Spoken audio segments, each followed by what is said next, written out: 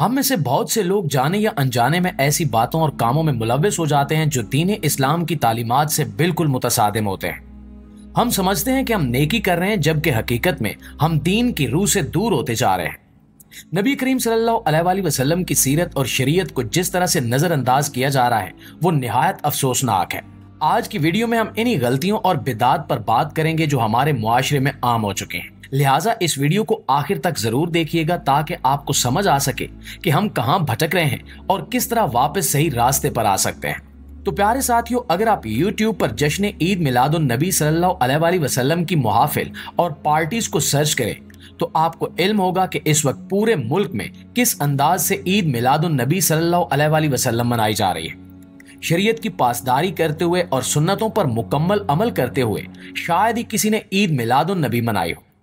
Facebook और YouTube ऐसी video से भरी हुई हैं और इन्हें देखकर ऐसे लग रहा है कि ये सब इस्लाम के पैरोकार हैं ही नहीं, बल्कि ईसाई भी ऐसे अपनी नबी की खुशियाँ नहीं मनाते, जिस तरह से मुसलमान अपने अजीम और तमाम अंबिया के इमाम, हज़रत मोहम्मद मुस्तफ़ा सल्लल्लाहु अलैहि वसल्लम की विलादत की खुशियाँ मना रहे हैं।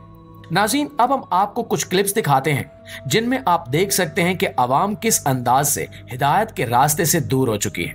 और ईद नबी मनाते हुए किस तरह से नबी अकरम सल्लल्लाहु अलैहि वसल्लम की शान में गुस्ताखी का मुरतकब हुआ जा रहा है और इसे सवाब समझा जा रहा है।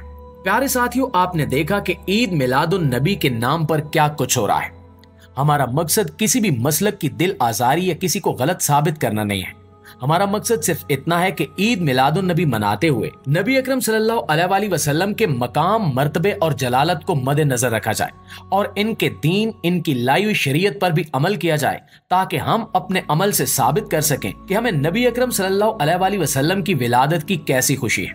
आप देख सकते हैं कि यहाँ पर डिस्को म्यूज़िक लगाकर नौजवान नस्ल इकट्ठी होकर बेहुदा किस्म के डांस कर रही है और पसे मंजर में ईद मिलाद नबी के बैनर्स लगे हैं और नाते चल रही हैं। अवाम यहाँ पर ऐसे डांस कर रही है जैसे किसी क्लब में भंगड़ा डालते हैं। क्या हमारे दीन की तालीमत ये हैं?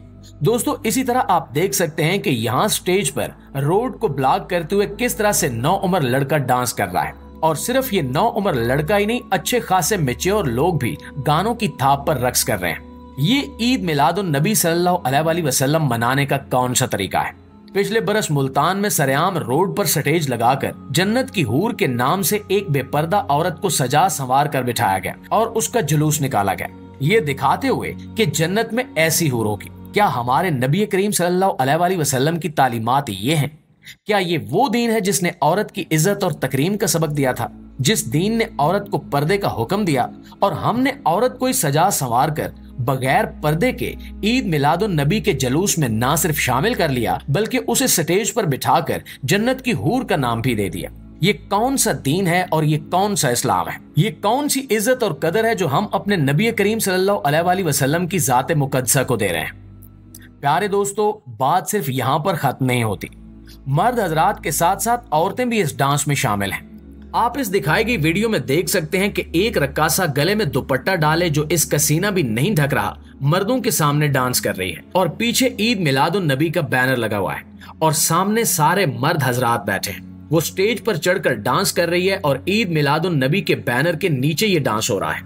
अगर यही हरकत कोई गैर मुस्लिम करता तो अब तक सारे आशकान रसूल बनकर मरने मारने पर तुल जाते। लेकिन ये बेहूदगी इश्क रसूल के नाम पर रचाई जा रही है और इन्हें रोकने वाला भी कोई नहीं है। प्यारे साथियों, इसी तरह शिया मसालिक में जिस तरह से मकामात मुकदसा की तशबीहात को मुतबरक समझ कर चूमा जाता है और इनको हाथ लगाकर दुआ की जाती है, इससे असल मकामात मुकदसा की तोहिन होती है। इसी तरह यही सब कुछ ईद मिलाद नबी के नाम पर मकामात मुकदसा की शबीहात बनाकर इन्हें चूमा जा रहा है और इनको हाथ लगाकर दुआएँ मांगी जा रही हैं। क्या ये सब हमारे दीन की तालीमात हैं? या ये वो दीन है जो नबी अकरम सल्लल्लाहु अलैहि वसल्लम अपने साथ लेकर आए थे और जिसका हुक्म अल्लाह ताला ने हम पर नाजिल फरमाया है? मुआजिज दोस्तों, सिर्फ़ शबीहात पर ही बात खत्म नहीं होती, बल्कि कुछ अरसे से एक ट्रेंड चल रहा है कि ईद मिलाद नबी के मौके पर केक काटा जाता है और हज़ारों पाउंड वजनी वो केक, जिस पर मकामात मुकदसा की शबीहात ही नहीं बनी होती, बल्कि नबी करीम सल्लल्लाहु अलैहि वसल्लम का नाम मुबारक भी लिखा होता है। उसी केक को काट कर मुख्तलिफ़ टुकड़ों में तकसीम करके अवाम में बांट दिया जाता है और बहुत सारी जगहों पर बचा हुआ केक कूड़े की नज़र हो जाता है। अवल तो केक काटने की रस्म भी अहले किताब की तरफ़ से आई है और मेरी मुराद यहाँ पर यहूद नसारा से है। केक काटना और मोमबत्तियाँ जलाने की रस्म यहूदो नसारा से आई है। लेकिन अगर आप इसको इस तरह से डिफेंड भी करें कि हम अपने बच्चों की सालगिरह भी ऐसे ही मनाते हैं तो कम अज कम केब के ऊपर मकामात मुकदसा गुंबद खिजरा, खाना काबा शरीफ की शबीहात बनाना और इन्हें काटना।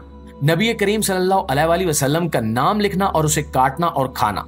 ये किसी भी तरह से अदब के जमरे में नहीं आता।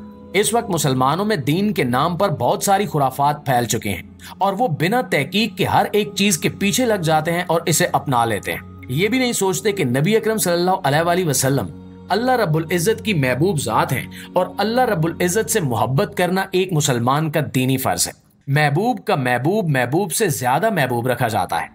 तो नबी करीम सल्लल्लाहु अलैहि वसल्लम की शान में छोटी सी गुस्ताखी भी हमें हमारे ईमान और दीन से महरूम कर सकती है और हमारा खात्मा कुफर पर हो सकता है।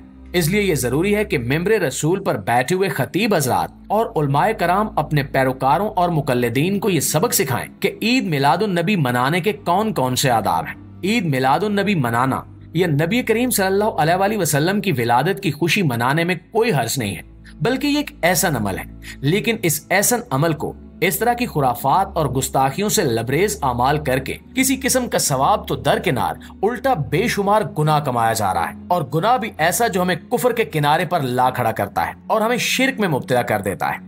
हमारे लिए ये बहुत ज़रूरी है कि हम अपने दीन की असल को समझें और नबी करीम सल्लल्लाहु अलैहि वसल्लम की शरीयत को अपनी जिंदगियों पर लागू करें। यही नबी करीम सल्लल्लाहु अलैहि वसल्लम का जश्न मीलाद मनाने का सबसे ऐसन और बेहतरीन तरीका है।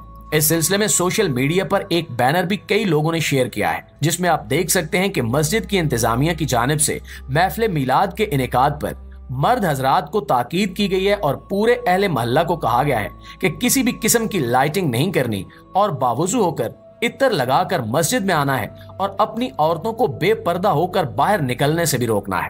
ये असल तरीका है ईद मिलादुन नबी मनाने का। ये तरीका जिसमें शरीयत को मलूज खातिर रखा गया है, जिसमें अदब नबी सल्लल्लाहु वसल्लम को सबसे ज़्यादा मुकदम रखा गया है।